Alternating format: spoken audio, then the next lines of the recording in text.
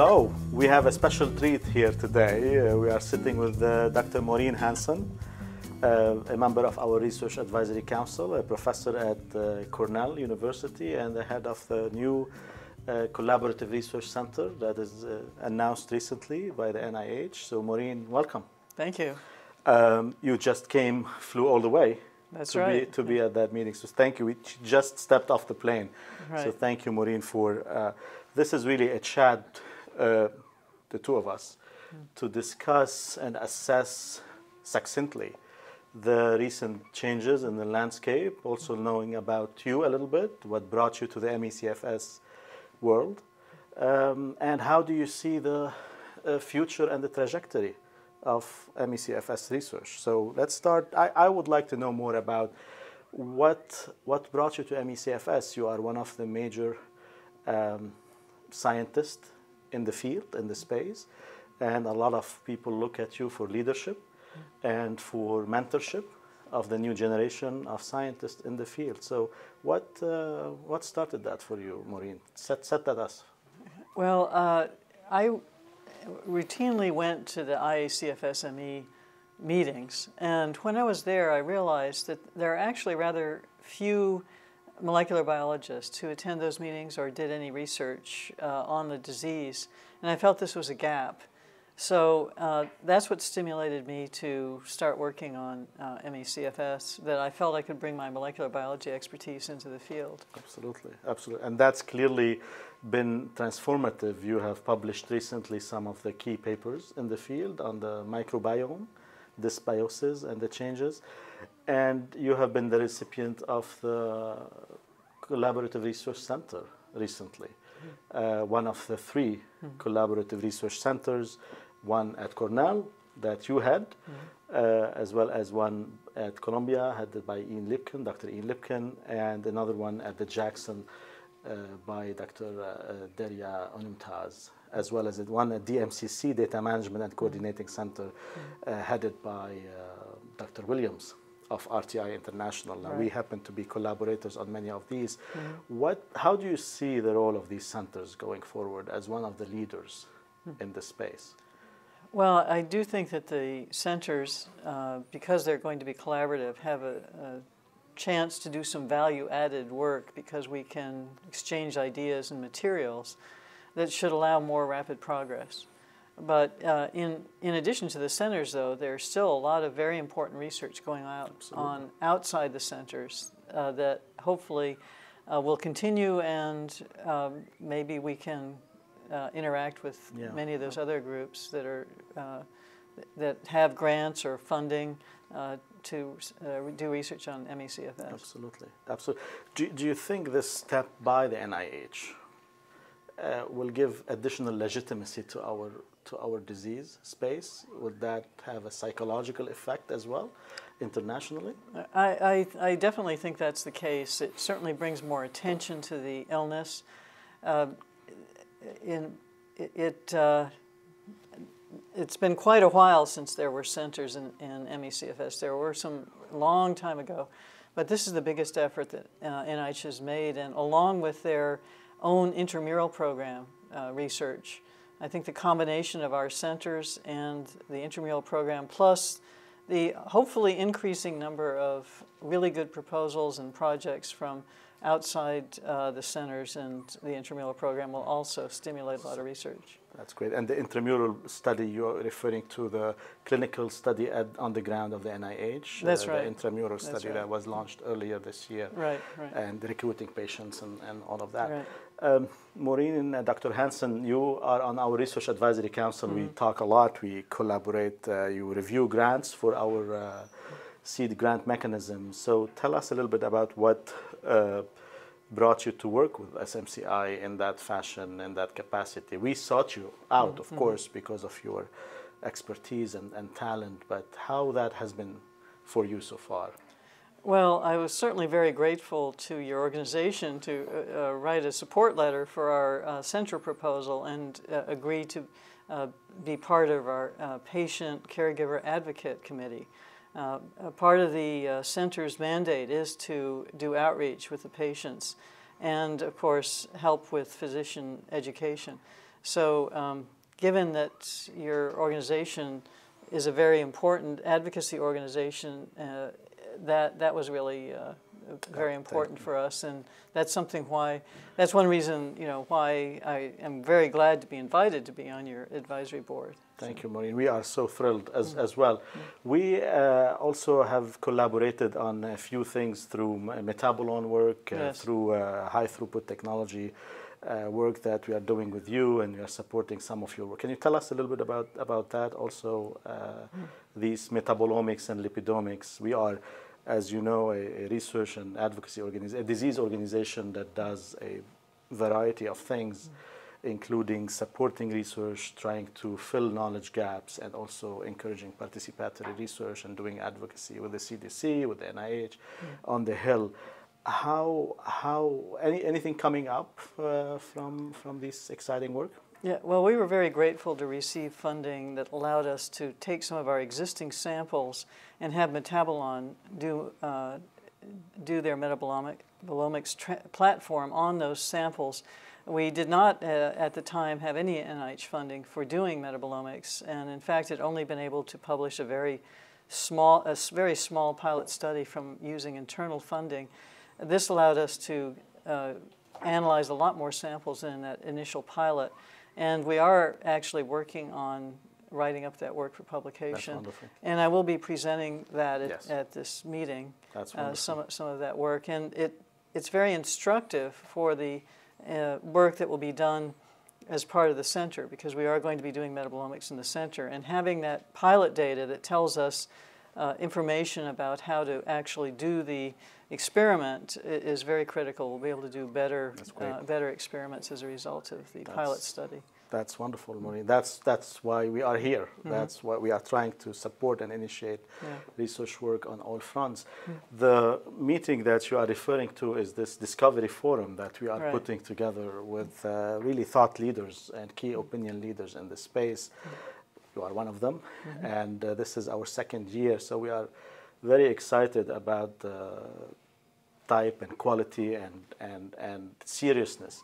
mm. of the people that are coming together tomorrow. And so it so happens that the four leaders of the centers mm. are also going to be in the room, as well as representatives from the CDC and from the NIH and from the biotech industry. So we, we hope that you will enjoy mm.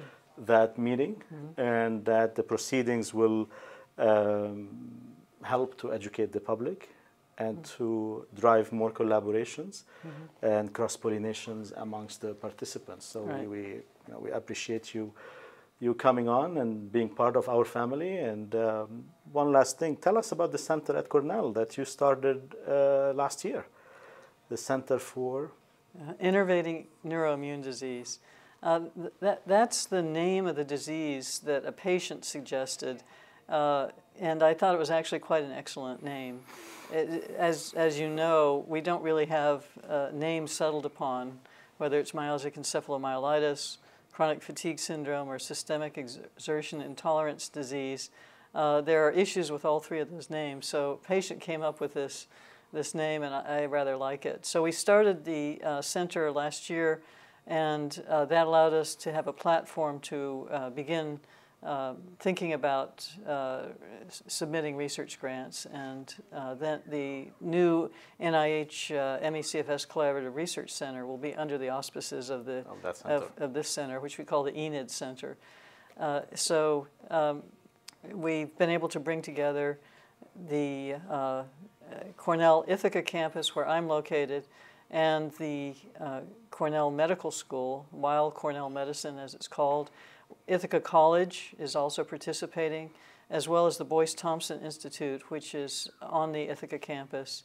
And we have a number of clinicians uh, involved, including one who's in Los Angeles, and that allowed me to have some visits with you yeah. while I uh, visited his office to discuss uh, our potential project that we're going to be doing. And uh, we will be recruiting patients in Los Angeles as well as in New York City and in, uh, in Ithaca, of course, uh, who can participate in our studies as part of the center. Wonderful. That's wonderful. It's, it's always to our benefit when you come to the West Coast. We are located in Los Angeles. We are uh, the, the headquarters of our organization is in Los Angeles. So, Maureen, any anything you'd like to add? Uh, what uh, maybe perhaps the challenges that you will face in the next few years? What uh, what's your outlook on on the you know research space in the next few years? What do you uh, Well, I think it's very important uh, for these centers not to be the last thing that NIH does to support the uh, MECFS research uh, area. We need, uh, in addition, fellowships for graduate students, MDs, postdocs, uh, who will then be encouraged to move into this area. But but uh, budding scientists are not going to be encouraged to move into this area unless they see that there's a, a path to obtain grant funds when they get out on their own. So I, I think it's also going to be very important to have more requests for applications from NIH for ordinary grants, uh, regular R21s and R01s, in order f- for uh, this field to really grow and for young people to get interested in uh, this as a career area. Yeah, absolutely. And so the nuance here is that uh, junior investigators they are given Yeah. startup packages, but Right. they are expected eventually to support themselves Right. and their research Right. from independent sources. And what they mean by that typically That's is right. the NIH uh, through exploratory grants or investigator-initiated awards R21 out That's of one, and that's uh, that's an essential That's right. component. You know, after uh, HIV was discovered, uh, NIH made a- uh, available a lot of funds for studying HIV/AIDS, and that was very critical to grow the research uh, community that works on HIV/AIDS. And how, here we are now today, uh, with uh, you know many good therapies for HIV/AIDS. Uh, even though we don't have a cure, uh, the individuals who have the disease have been greatly helped by all of the research that's gone into that. And uh, we need something similar for MECFS. It, it affects even more people than uh, people with HIV. So uh, I'm hoping that uh, progress will be made relatively quickly and that that will actually stimulate even more uh, attention from NIH and other granting agencies, as well as we certainly still need support from private organizations and individuals. Absolutely. Well, Maureen, thank you so much for uh, gracing us today with your presence. I know you must be very tired flying all over the, the and you are going to Sweden soon Yes. after this for another roundtable uh, conference in, Right. in Sweden. So we will, you know, probably will see you on the other side as well. I will be there Yes. too. Uh, thank you so much for uh, doing this. Well, thanks for inviting me. Maureen, you are not only a, an accomplished award winning scientist, uh, a molecular biologist, and a professor, but you have a relationship to the disease, a personal relationship to the disease. I know uh, this is something difficult to talk about sometimes, and you are often chary to uh, come out with this personal uh, because you wish not to interfere with your professional uh, determination about the disease. But would you would you mind shedding light on some aspects of that? Because this must be difficult for you. So um, I started going to meetings uh, sponsored by the IACFSME organization uh, some years ago. And the reason I was attending those meetings is that my own son had been diagnosed with ME/CFS when he was 15 by one of the leading physicians in the area, uh, uh, Dr. David Bell. And so I started going to those meetings. Since I was a scientist, uh, I knew that I would get a lot out of them. And what I did learn at those meetings was that there weren't enough molecular biologists. So that's how I got into the field. I certainly hope that my intimate knowledge of what the experience of an ME/CFS patient will actually inform our work. So I, I feel that um, I, I, all of that knowledge I have of patient symptoms and you know what happens to them Yes. in their lives is very important. And it also does mean that when patients call me up, as some have after this center uh, has uh, was announced, I've had a number of patients call me up, tell me about their symptoms and how desperate they are for some treatment. I certainly can relate to the importance of um, patient education, physician education, and uh, relate to their, their desperation, really. Many of them feel uh, very abandoned by the uh, medical community, and I certainly hope our medical education can also uh, help the condition. Even just educating physicians about the disease may improve the lives of a number of our uh, victims of this disease. Absolutely. Th- thank you, thank you, Maureen, for uh, mentioning that. It mm. must be very difficult for you, and we, we wish your son uh, all the health in the world. And, and again, thank you mm. for doing what you are doing. This is uh, not only professional for you, it mm. seems it's personal. And, uh, and, and I think together, hopefully, we can, we can achieve putting this disease behind us and bringing some relief uh, and treatment, if not cures, uh, to your son and to uh, hundreds of thousands suffering like him. That's so right. Please give him our best. So, uh, Dr. Hanson, you uh, are part of our Research Advisory Council, mm-hmm. which is uh, essentially a medical and scientific advisory board, and we collaborate on so many projects. Um, and you have been part of our family. What what really made you take the decision to be on our Research Advisory Council. We invited you, of course, for your mm. talent and presence and, and uh, poise in the field. But uh, tell us from your perspective, how do you see our organization and our role mm. that we are playing in, in advancing the plight of patients? Well, the fact that you're providing research grants is a very important uh, aspect of your organization because uh, there needs to be some seed money to uh, test you know, new ideas. And so uh, I felt if I can help uh, with review of grants for such uh, seed projects, uh, that that would be uh, a, useful uh, investment of my time. I also was grateful for your support of our center proposal and your willingness to be involved with our center going forward.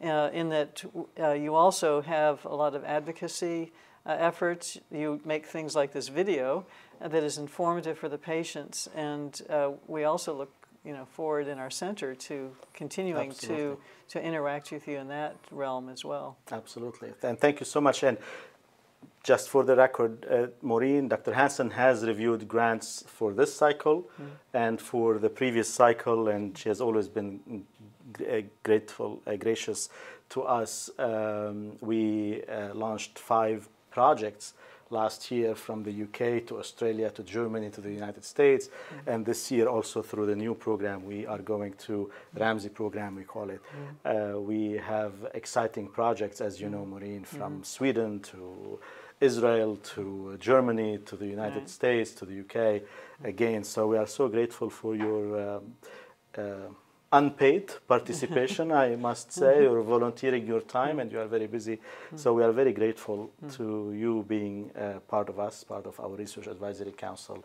and we wish you all the best um, in your endeavor.